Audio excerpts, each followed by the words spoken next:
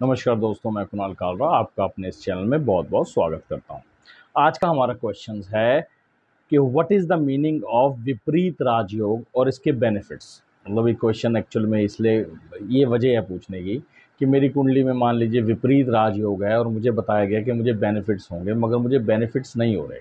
या मैं उनको बेनिफिट्स बताऊँगा तो वो उसके हिसाब से मैच करेंगे कि क्या मेरी लाइफ के अंदर ये बेनिफिट्स हो रहे हैं या नहीं हो रहे।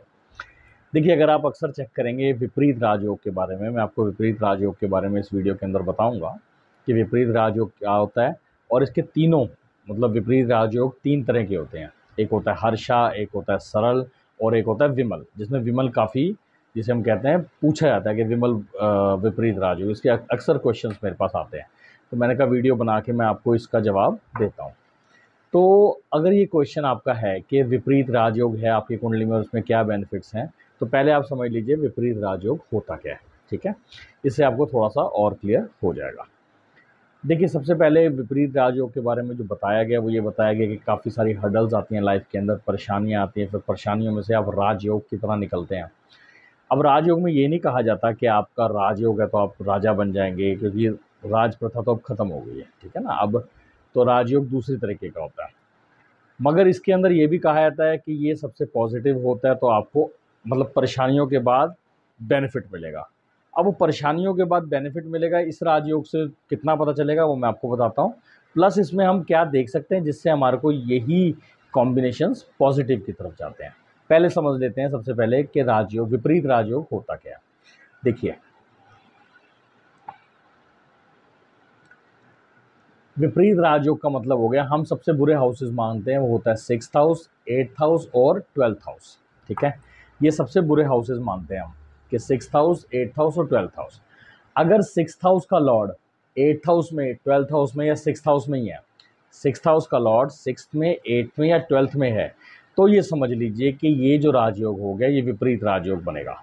ऐसे ही एट्थ हाउस का लॉर्ड सिक्स एट्थ और ट्वेल्थ में है, या ट्वेल्थ हाउस का लॉर्ड सिक्स एट्थ और ट्वेल्थ में है, कोई भी कंडीशन बनती है तो इसके अंदर ये विपरीत राजयोग हो गया। अब नाम अलग अलग है। पहला नाम आप समझ लीजिए हर्ष।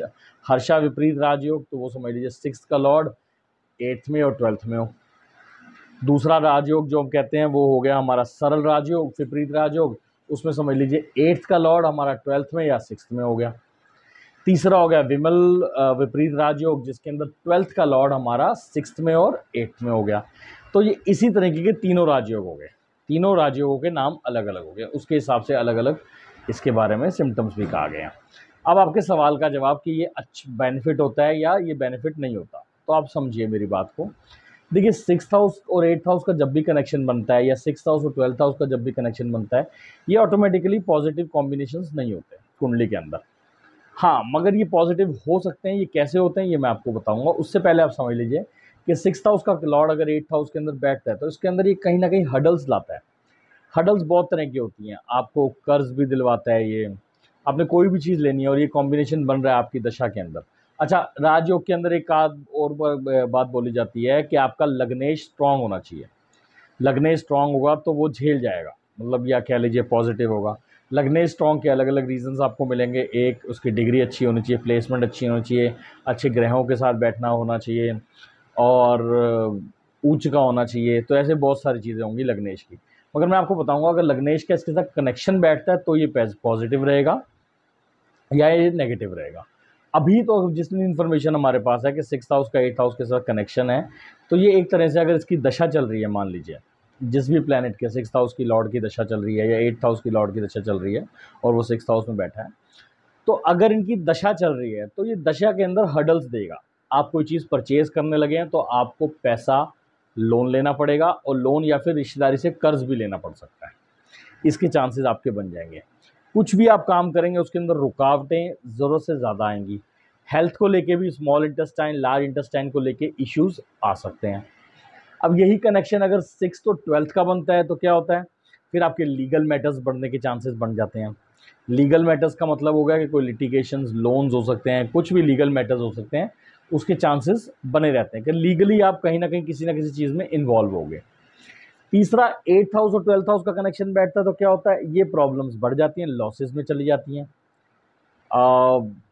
मैरिड लाइफ के अंदर एक्सपेंसेस भी कराता है तो फिर ये डाइवोर्स के अंदर प्रॉब्लम्स भी क्रिएट करता है। तो ये सारी चीज़ें तो इन कनेक्शंस के हिसाब से ठीक नहीं है, ठीक है ना? अब इसको पॉजिटिव कैसे हम देख सकते हैं? मैं आपको बताता हूँ। अब हमने देखना है कि इनके जो लॉर्ड हैं, वो तीनों नक्षत्र किसके में हैं?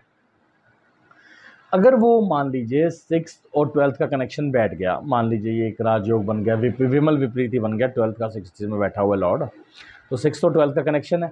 अब मान लीजिए वो इलेवंथ के नक्षत्र में बैठते हैं या टेंथ हाउस के नक्षत्र में बैठते हैं कि जिस नक्षत्र का जो रिलेशन है वो टेंथ हाउस में है या इलेवंथ हाउस में है।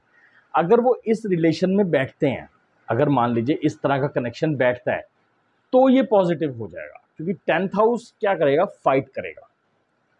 आपकी एट्थ हाउस की सिक्स हाउस की हडल्स आई प्रॉब्लम्स आई, मगर उसके साथ टेंथ हाउस मतलब फाइट का निशान है फाइट का वो है।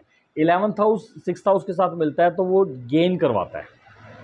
तो प्रॉब्लम्स आएँगी, आदमी रुकेगा, जैसे हम कहते हैं ना कि हम कहीं जा रहे हैं, रास्ते में पत्थर आ गया तो हम रुक गए। एक हो गया पत्थर परमानेंट आ गया, रास्ता खुद गया, हम वापस चले गए। एक होता है कि अगर टेंथ हाउस और इलेवंथ हाउस के साथ कनेक्शन है तो हम रुकेंगे ज़रूर, मगर हम उस परेशानी को सॉल्व करेंगे। और आगे बढ़ेंगे। तो ये हडल्स का नहीं आ, ये पॉजिटिव का चांसेस है। अगर हमारा नक्षत्र ठीक होता है तो। तो वही फ़र्स्ट हाउस का बोला गया होगा कि फ़र्स्ट हाउस की डिग्री अच्छी होनी चाहिए। डिग्री के साथ ये देखना पड़ता है क्योंकि डिग्री तय करती है आप किस नक्षत्र के अंदर है। आपकी डिग्री तय करती है आप किस नक्षत्र के अंदर जिस नक्षत्र के अंदर है उस हिसाब से उसका कनेक्शन देखा जाता है किन हाउसेज के साथ है। अगर आप ऐसे ही नक्षत्र के अंदर है मान लीजिए सिक्स हाउस का लॉर्ड एट्थ हाउस में बैठा है और जो नक्षत्र है वो ट्वेल्थ हाउस का है तो फिर ये लॉसेज है। फिर ये लॉसेज है। फिर ये प्रॉब्लम क्रिएट करेगा। फिर आपको मतलब व्यापार वगैरह कई चीज़ों में बड़ा संभल के चलना पड़ेगा। फिर संभलने की वो हिदायत दी जाएगी। तो विपरीत राजयोग आपकी कुंडली में है मगर सिर्फ़ वो इनकम्प्लीट इन्फॉर्मेशन से हम प्रिडिक्ट नहीं कर सकते। हमें प्रिडिक्ट करने के लिए ये सारी चीज़ें देखनी है। दशा कौन सी आ रही है, कितनी पावरफुल है, फिर गोचर कैसे बन रहा है ट्रांजिट कैसे बन रहा है तो ये सारी चीज़ें मिल के बनाएँगी। तो ये था आपके सवाल का जवाब कि विपरीत राजयोग का मीनिंग क्या होता है? मीनिंग आपने पूछा, जो इन्फॉर्मेशन मैंने आपको दे दी है। और इसके प्रॉब्लम्स क्या होती है, वो भी मैंने आपको बताई है, किस तरह की हर्डल्स आ सकती हैं जब ये हाउसेज आपस में कनेक्ट कनेक्ट करते हैं। और सॉल्यूशंस के लिए मैंने आपको बताया कि नक्षत्र अच्छे हों तो सॉल्यूशन अपने आप ही निकल आते हैं। आशा करता हूँ मेरी दी गई जानकारी ठीक लगी होगी। जल्दी मिलता हूँ एक नई वीडियो के साथ। तब तक के लिए नमस्कार। आपका समय शुभ